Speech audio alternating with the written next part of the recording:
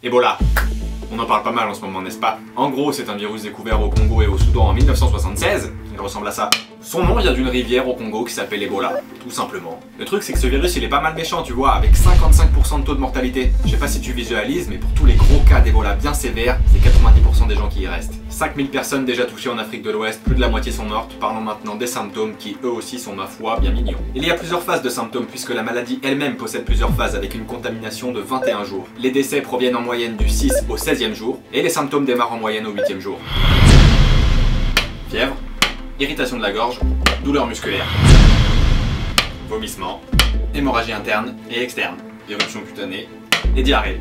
Bon, la deuxième phase est un poil plus hardcore que la première. Comme je le disais, Ebola a fait sa première apparition en 1976 en République démocratique du Congo avec 320 cas pour 280 décès. Ensuite, ça s'est un peu stabilisé au cours des années en restant dans les mêmes pays. Et si on en parle comme des dingues en ce moment, c'est parce qu'il y a une nouvelle flambée avec 1323 cas pour 729 décès. Mais pas seulement au Congo, cette fois-ci le virus traverse les frontières pour aller en Guinée, Liberia, Sierra Leone. Pénard le virus.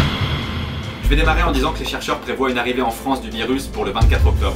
Des chercheurs de l'université de Boston ont fait une projection statistique qui place la France en deuxième place des pays qui risquent le plus d'avoir un cas d'Ebola dans les jours à venir. Ils ont calculé ça en prenant en compte les liaisons aériennes avec les pays qui possèdent une épidémie. Bon, il faut savoir qu'une fois que tu l'as, tu restes contagieux tant que le virus est dans ton sang ou tout autre liquide biologique. Salive, larmes, lait maternel, urine. Le liquide se trouve aussi dans la semence, dans le... le sperme.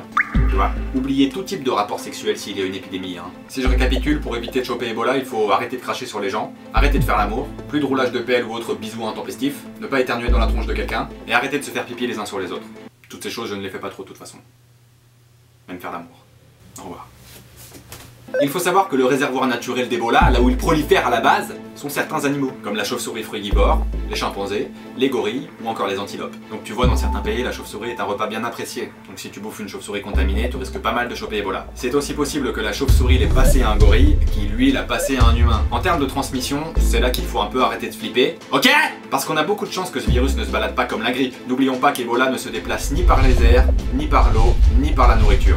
Ce virus se transmet par contact direct avec une autre personne infectée par ce même virus, justement par contact direct avec les fluides corporels, sang, salive, sperme. Ou aussi par exemple en ayant été exposé à du matériel médical contaminé. Et là c'est vraiment pas de chance, tu pars à l'hôpital pour un ongle incarné et paf Tu repars avec Ebola. Donc en gros finalement il n'y a pas tant de risque de contamination que ça, à partir du moment où vous prenez des précautions. Prenons un exemple tout simple pour que tout le monde comprenne. Même les, les au fond, la joie vous écoutez rien depuis le début. Si vous êtes dans un avion et qu'une personne à deux sièges de vous possède Ebola, tant qu'il ne vous vomit pas dessus, il n'y a pas de risque de choper la maladie. Alors que si cet homme, plutôt sympathique d'ailleurs, possède la grippe, là, il y aurait eu un risque de contamination. C'est plutôt les médecins qui, eux, vont prendre des risques en étant directement en contact avec les malades. Respect. Certains disent que la maladie peut muter et donc être contagieuse par les airs. À ce moment-là, on pourra commencer à vraiment flipper. J'aime pas les maladies Alors c'est sûr, Ebola c'est pas très gentil, mais n'oublions pas que tous les ans environ 500 000 personnes meurent de la rougeole. C'est pas terrible non plus. Allez, salut